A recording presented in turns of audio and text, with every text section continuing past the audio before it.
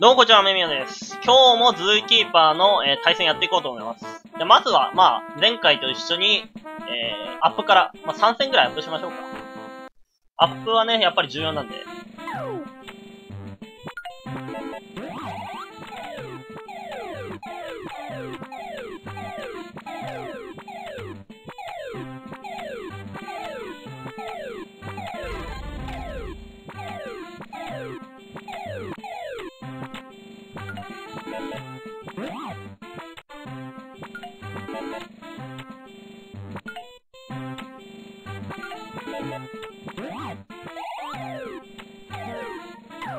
うん、まあ、まあまあまあ、ぐらいかな。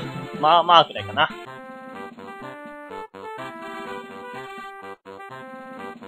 まあディフェンスがまあまあ高いんで、悪くはない。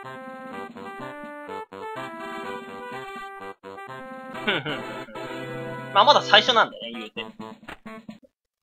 アップですから。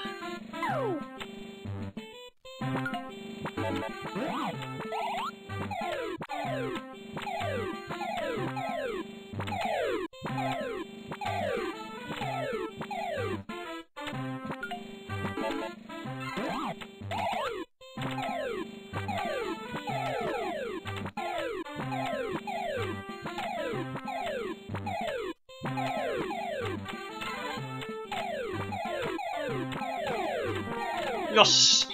今のは、えー、ラッキーパネルのパンダ。超上級者レベルになってくると、この、ラッキーパネルを最後の連載に消すっていうのも、実は意識してるんですよ。例えば、ディフェンスが、ラッキーパネルがカバかゾウだと、そのカバかゾウを最後の方の連載に消す。できるだけディフェンスポイントを多くするために。まあ、そういうこともあって、今のパン、パンダを狙い撃ちで消しに行きましたね。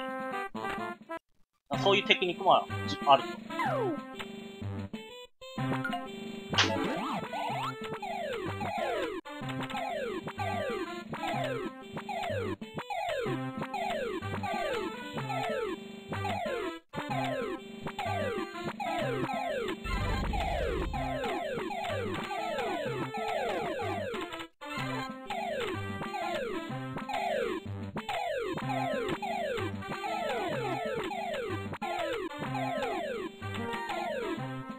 わ、強え強えこれは強え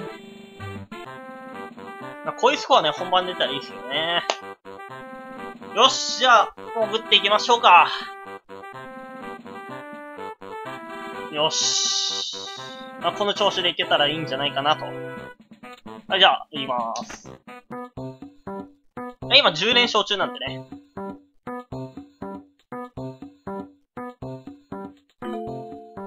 はい、当たりました。ヨッシーさん、よろしくお願いします。相手も2連勝中ですね。でかいライオン。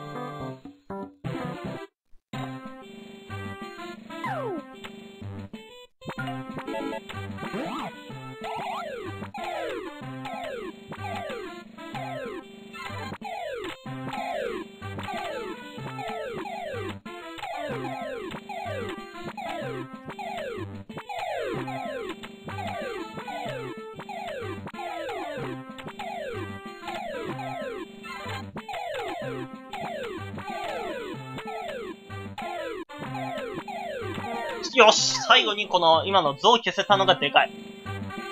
それだけディフェンスだいぶ増えるんで、てか強い。これは強い。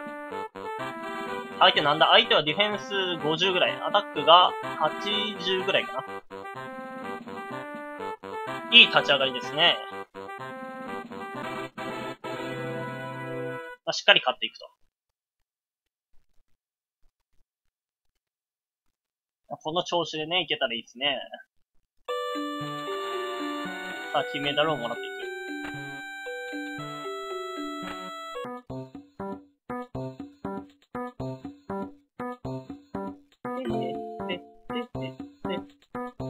チャイヤチャイヤさん。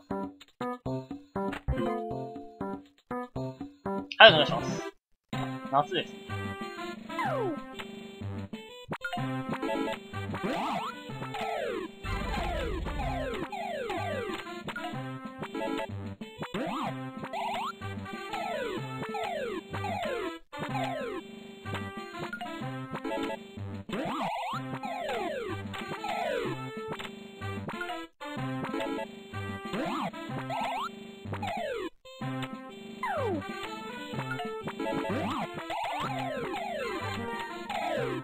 よし。ディフェンスがラッキーにしては、結構バランスがいい方。まあ、最後ちょっとディフェンスをメインに消しに行ったっていうのもあるけど。最後のあの、スペシャルパネルっていう、ここに出たやつ、スペシャルパネルって言うんですけども、あれで像が消えたんで、それでディフェンスが増えたっていうのもあるけど。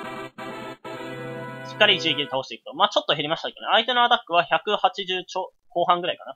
190ぐらいか。だいたい。よし、いいですね。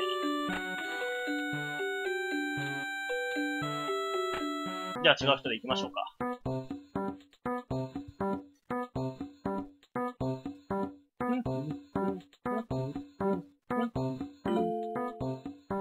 ふうたさん。はい、お願いします。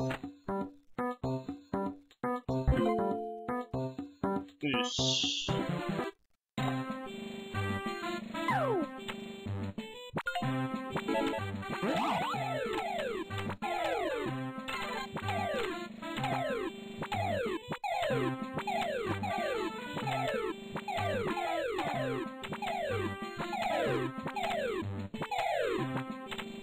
あー、連鎖になってない。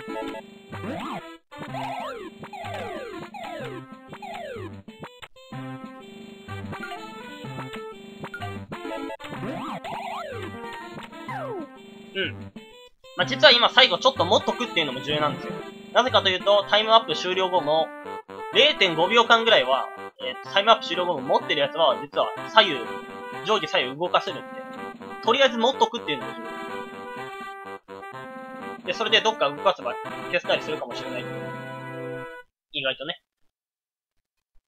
相手のスコア見てなかったけど、まあ、一発で決まりましたね。はい。お疲れ様でした。あと2戦。CP ボトルはないんで、これがあれば、使えば、あの、この20ってなってるこの CP っていうのこれが全部回復するんだけど、そのアイテム今持ってないんで、あと2戦ですね。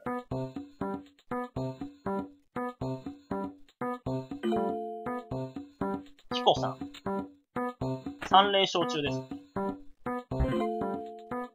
はい、お願いします。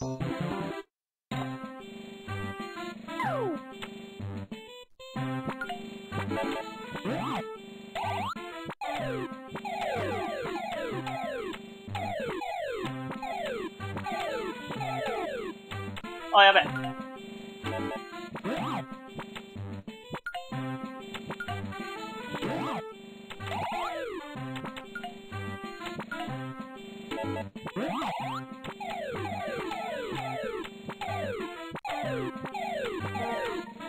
うーん、あ、最後ディフェンス今の増えたのでかいですね。10ぐらい増えた。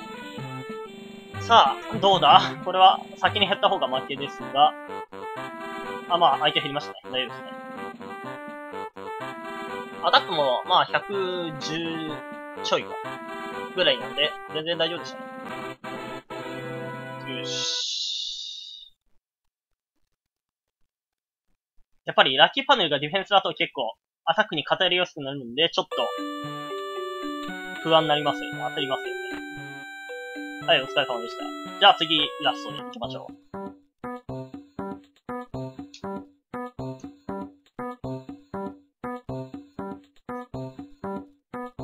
1700まで上がりました。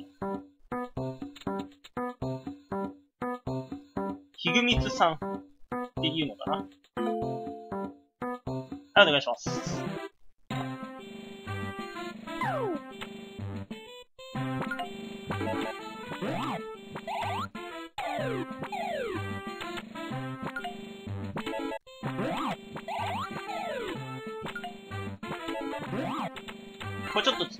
パネル少ないんで、シャッフル使います。